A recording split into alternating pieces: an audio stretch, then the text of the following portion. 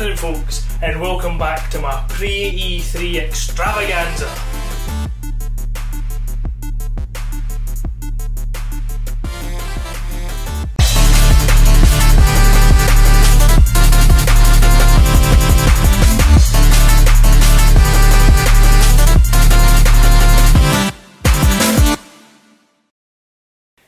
just tuning in right now, you can watch my last video where I talk about Microsoft and the Xbox Scorpio's presentation right here. But I'm not going to waste any time. Let's jump right into what we know about the conferences. Not a lot. Not a whole lot. Sony have kind of been really tight-lipped this entire time. They, in my opinion, they blew their load in PSX and last E3. They had some really good conferences and I'm kind of worried that they're not going to have much to show, but who knows? Let's let's just move on, shall we?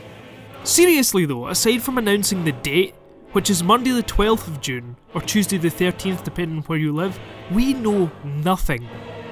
So that brings me to the things we expect.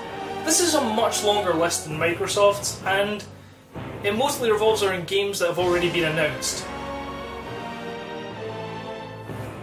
God of War. I think this is a safe bet. I mean, we've seen in game footage at this point. Spider Man.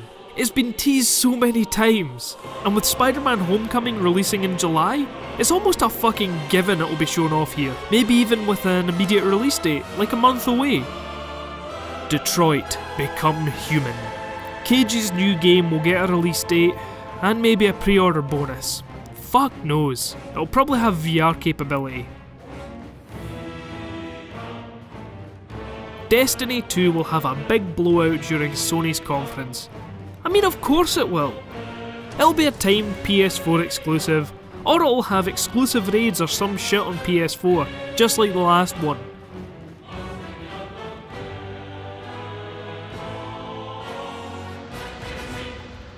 PSVR is gonna get a big exclusive.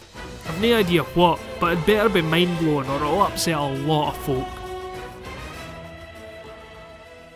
Finally, the Dream Team.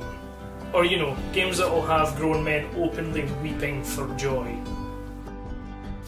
The Last of Us 2 gameplay and release date.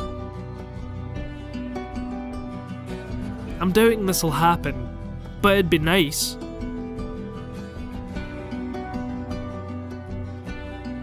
PSVR price cut. Cut $100 off the price tag and watch it sell out all over again.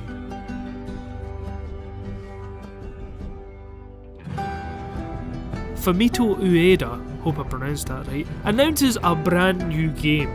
I know some people didn't like The Last Guardian, but I loved that game, and I just want to play more from that universe. I sure it's going to take another decade to release, but knowing it was in the works, that would be amazing!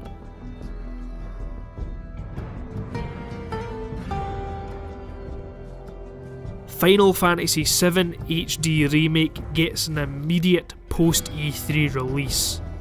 It'll never happen, but fuck me if people wouldn't break the PSN immediately upon hearing that. So those are some of my predictions and wishes. What about you guys and girls? Did I miss anything?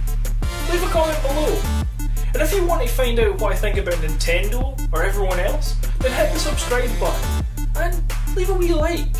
Well, would you? And leave a like. I like me. Until then, guys, I'm Mike. This is MiQ's Mic. Catch you all later.